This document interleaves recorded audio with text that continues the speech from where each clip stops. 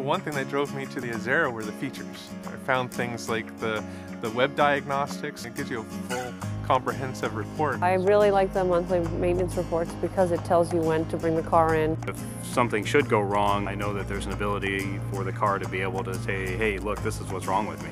Whenever there's you know low, low oil or if the tire pressure is low or something like that, it'll let me know in my monthly vehicle report. It gives you an ability to take it in and, and get it fixed correctly the first time. It tells me when to go for the inspection and then regular maintenance checks. I can go on my app, the Blue Link app. It'll even find the dealer for me that's in my area, and I can book an appointment right on my app. I don't even have to call anybody. I get the emails. I'm like, oh, okay, everything looks good. I'm good. And when I see all those green check marks uh, on the website, then I know that my car is functioning just fine.